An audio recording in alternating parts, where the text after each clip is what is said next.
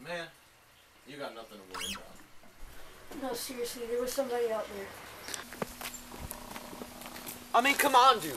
Trust me. You got nothing to worry about. Nobody's following. It's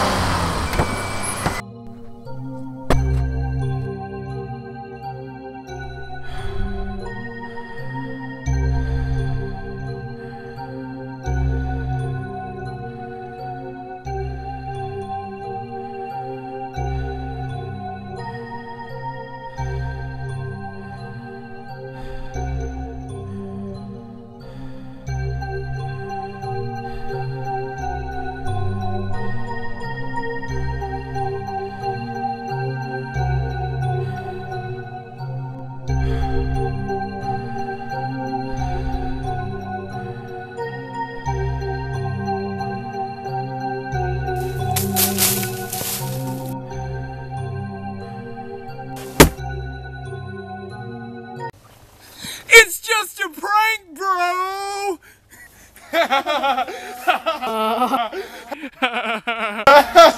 but we should go help Jimmy. We we totally hit him with the car back there.